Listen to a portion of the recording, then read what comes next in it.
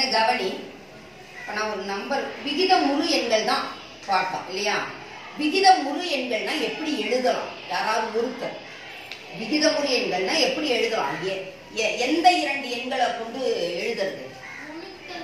முழுக்கள். Very good முழுக்கள். முழுக்களை எந்த அமைப்புல எழுதுவோம் பின்ன வடில p by q and q not equal to 0 புரியுதுங்களா முழுக்களினுடைய விகிதம் இதுவே முழுக்கள் வந்து விகிதமா இல்லாம இருந்தா இரு முழுக்களே விகிதம் வருமாறு எழுத முடியறது என்னது விகித முறு அதுலயே வர விகித அப்படின்னு வருது புரியுதா விகித முறானா என்ன?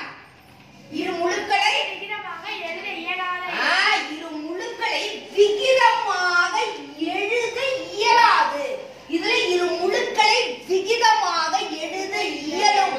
இது எழுத இயலாது. அழக வார்த்தை பாரு.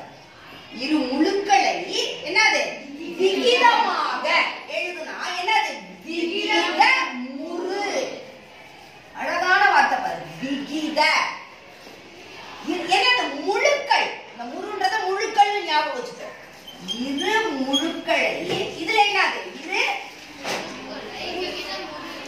அடுத்தது ஆ, இரு முழுக்களை விகித முறான என்ன இரு முழுக்களை ஆ, விகிதமாக விகிதமாக எழுத இயலாத எழுத இயலாத எண்கள் என்ன எண்கள் முறா.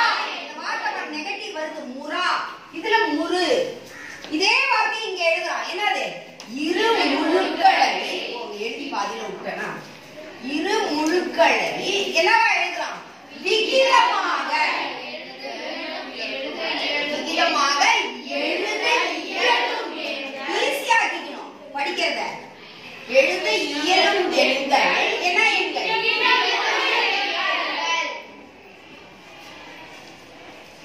புரியுதாடா கண்ணா புரியுதா புரியுது அதாவது இரு முழுக்கள். என்ன நம்ம முழுக்கள்னா integers integers p by q ஃபார்ம்ல எழுதுறோம். இண்டீஜர்ஸ ரேஷியோவா நம்மளால பண்ண முடியும். ஆனா இதுல என்ன பண்ண முடியாது? ரேஷியோவா பண்ண முடியாது.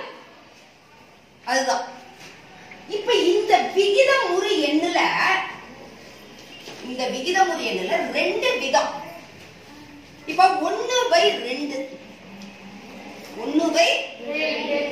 இப்ப இந்த ஒண்ணு பை ரெண்ட வேற எப்படியாவது எழுத முடியுமாமா எப்படிமா எழுதலாம்?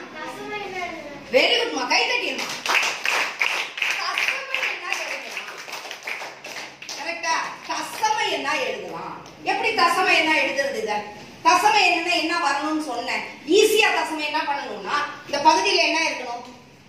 பத்து நூறு ஆயிரம் அப்படி இருக்கணும் இல்லையா தசமை என்ன- இல்லையா வகுக்கலாம் இல்லாட்டி என்ன பண்ணலாம்? வகுக்கலாம். அரைன்றதுனால நான் என்ன சொன்னேன்னா டக்குன்னு இப்படி போட்டுக்கலாம். அஞ்சு பை பத்து. அப்ப ஒரு பூஜ்ஜியம் போது என்ன வரும்? ஒரு இலக்கம் தள்ளி புள்ளி வைக்கிறோம். அப்ப பூஜ்ஜியம் புள்ளி அஞ்சு அப்படின்னு வருதுன்னு வச்சேன். புரியுதுங்களா? இப்ப இங்க பாருங்க. அரை. இது எப்படி எழுதுனா பூஜ்ஜியம் புள்ளி அஞ்சு. அதாவது ஒன்னு டிவைடட் பை ரெண்டு. அப்ப என்னது? ஒன்னு ரெண்டுல அடங்காது. பூஜ்ஜியம் போட்டுட்டு புள்ளி வச்சு பூஜ்ஜியம் சேர்க்கணும். பூஜ்ஜியம் சேர்க்கணும்னா இங்க என்ன ஆகணும்? புள்ளி வச்சாதான் இங்க பூஜ்ஜியம் சேர்க்க முடியும். அடங்கல அப்படிங்கறது பூஜ்ஜியம் போட்டுறலாம் நம்ம. ஒண்ணுன்றது இரண்டால் வகுபடவில்லை. இஸ் நாட் டிவிசிபிள் பை டூன்னு இண்டிகேட் பண்ணது பூஜ்ஜியம் போட்டோம். அதுக்கப்புறம் இந்த டெசிமல் பாயிண்ட வச்சுட்டு அதுக்கப்புறம் என்ன சேர்த்தோம்? ஜீரோ ஐ ரெண்டு அப்ப இந்த எண் இதுக்கப்புறம் ஏதாவது போச்சா? போகல. முடிவுறு என்ன முடியும் புள்ளிக்கு அப்புறம் எத்தனை இலக்கம் உள்ளது? ஏ எத்தனை இலக்கம் எந்த எண் உள்ளதுன்னு கேட்கல ஒரு இலக்கம் உள்ளது. என்ன முடியுதா முடியலையா? அப்ப இது என்னன்னா முடிவுறு தசம விரிவு. இது என்னடி சொல்லலாம் முடிவுறு தசம விரிவு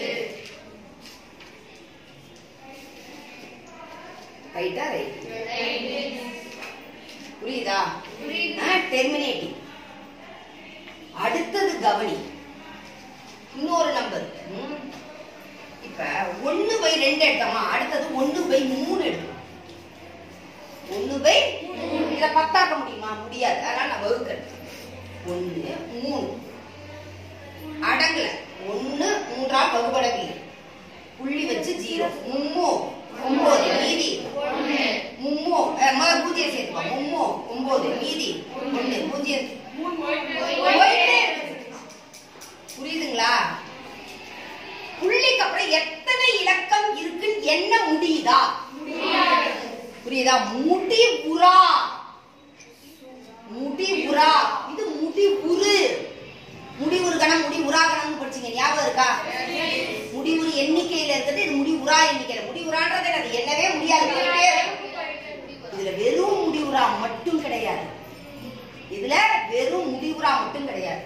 இந்த மூணுன்றது என்ன ஆகுது ஆ, சுழல் இல்லாட்டி திரும்ப திரும்ப வருது திரும்ப திரும்ப திரும்ப வர்றதுக்கு பேர் தான் சுழல் சு- கா- அந்த இது எல்லாம் பார்த்துருக்கீங்களா கடல் இதுல எல்லாம் சுழல் வருவாங்க ஏன்னா அது வந்து திரும்ப திரும்ப திரும்ப இப்படி சுத்தியே இருக்கும் அதனால இது சுத்தி சுத்தி சுத்தி சுத்தி வந்துகிட்டே இருக்கு அப்ப அடுத்த தன்மை என்னன்னா முடி உரா சுழல் தன்மை உள்ள தசம விரிவு சுழல் தன்மை உள்ள தசம விரிவு ரெண்டு இருக்குது விகிதம் உருல ஒண்ணு முடி உரு தசம விரிவு இன்னொன்னு என்னது முடி உரா சுழல் தன்மை உள்ள உள்ள இதுல எல்லாமே பாசிட்டிவ் தான் அதுல இல்ல அப்படின்னு புரியுதுங்களா இதுல முடி உரா சுழல் தன்மை உள்ள தசம விரிவு நிறைய பேத்துக்கு அந்த கன்ஃபியூஷன் வந்துடும் முடி உரா சுழல் தன்மை வந்து விகிதம் உருள வருமா விகிதம் உரால வருவான்.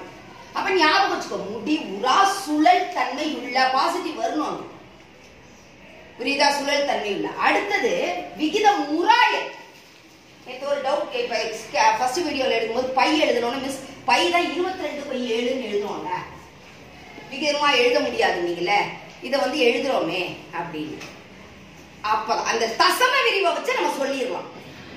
தசம விரிவை வச்சு அது விகித முறி என்ன? விகித முறா என்ன அப்படின்னு இப்ப இதுல என்ன ஆகும்னா வகுத்து பார்க்கலாம். வகுத்து பார்த்தீங்கன்னா இதனுடைய தசம விரிவு எப்படி இருக்கும்னா முடி உரா சுழல் தன்மை அற்ற. ரெண்டுமே நெகட்டிவ் முடி உரா சுழல் தன்மை அற்ற தசம விரிவு. விகிதமுறா என்ன எப்படி வருது? எங்கடா விகிதமுறா விகிதமுறா புரியுதா? முடி உரா சுழல் தன்மை அற்ற.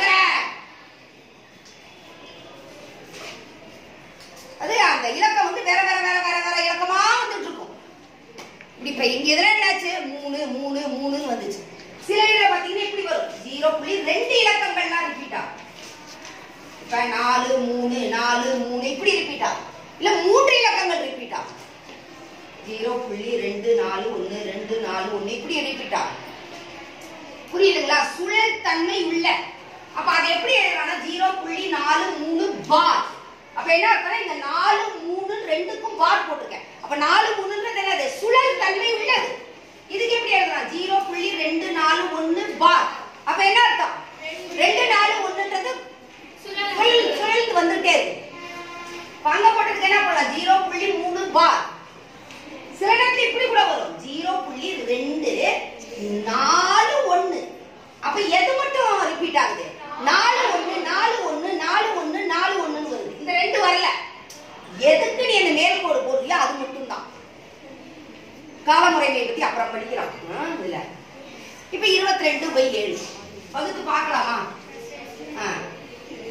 இருபத்தி ரெண்டு பை ஏழு. போயிட்டே இருக்குங்களா புரியுதுங்களா? என்னது மூணு இருபத்தி ஒண்ணு மிச்சம் புள்ளி வச்சுட்டு பூஜ்ஜியம் சேரும் ஒரே மிச்சம் ஆ. ஜீரோ ஆ. கட கடன்னு ஒவ்வொருத்தரா ஒவ்வொருத்தரா சொல்லணும் ஆ. அடுத்தது முப்பது என்னது நாலு இருபத்தி எட்டு ஆ. அடுத்தது ரெண்டு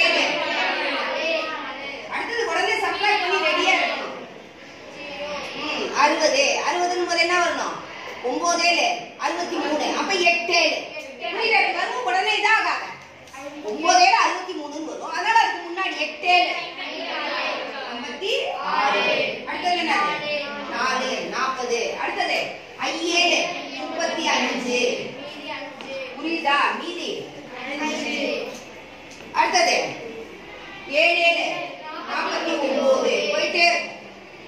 இது என்ன ஆகும் ஒரே முடி உரா நல்லா கவனிப்பா வேற வேற வேறையா வருது முடி உரா சுழல் தன்மை அற்ற. தசம விரிவு. புரியுதா? விகித முறுக்கும் விகித முறாவுக்கும் தெரியுத? வித்தியாசம் தெரியுதா அடிக்கனே? விகித முறுல ரெண்டு. முடிவுறு தசம விரிவு ஒண்ணு முடிவுறா